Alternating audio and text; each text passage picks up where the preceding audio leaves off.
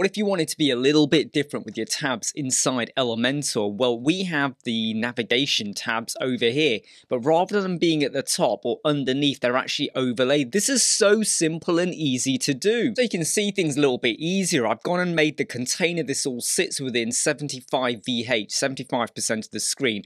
And inside of here, where we have the actual tabs, we do have three individual tabs, and each one of them also, when you go in and look at them, uh, the containers within the tabs, by the way, they're all 75 as well. If you want to have full screen, you would set it to be 100 VH. So here's the really, cool, funky thing, and it is so simple. When you do go over to tabs, you have the facility there for the direction. At the moment, it's at the top. You could put it onto the right, you could put it onto the left, or you could put it at the bottom.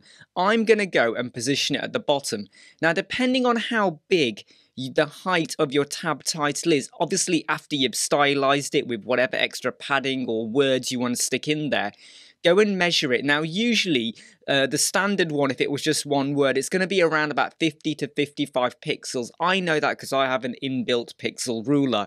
But what you want to now do is go and drop in this custom CSS code. That's all it is. It's that simple. So this is the class name for the uh, the tab titles. By the way, I have not added my own class name or ID onto it. This is just using the inbuilt Elementor one. So if you do have multiple tabs on your website, you might want to go over to your advanced tab, go to layout, go and give it a class name. So let's just call it rocket. And then if we go down to where we have our custom CSS, then I've popped in dot rocket before the actual code there. So if you want to do that, you can do, just bear that in mind because once you stick this in, it will apply for all the tabs across your website. So let me just get rid of it so that you fully understand what we're doing margin top minus 75. If I go and change this to be zero, it's now back in where it was. Also, I should mention though, this is quite important. If you go over to style, the gap, uh, sorry, the distance from the content is set to zero. Notice here how you can rearrange it. I've just gone and set it to zero for simplicity because it meant that I could use my pixel ruler and then maneuver it. I've then decided that if I was to go with, say, minus 55, can you now see it's hitting the bottom edge there, roughly hitting the bottom edge? I then increased that by 20. If I was to go and increase that to, say, 155, it's now 100 pixels away from the bottom. So you can modify that quite simply.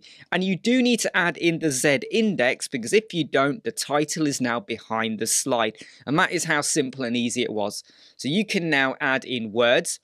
Don't forget, though, that if you were to go over to your tab and where you have your title, you could drop in some HTML. So you might want to show an image instead.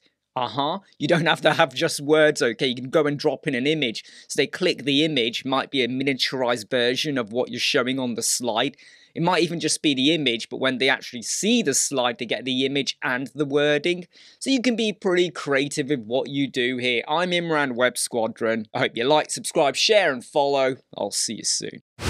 Never break, always fight, never quit, do it right, play the game, win it life, have no shame There's no time Feel the pain, live the grind I could change, in my mind, pick a lane Commit and climb, the only way to win it life. I never miss, that fact Taking big swings, bitch, hand me the bat Put me in the ring, you'll go out in a bag.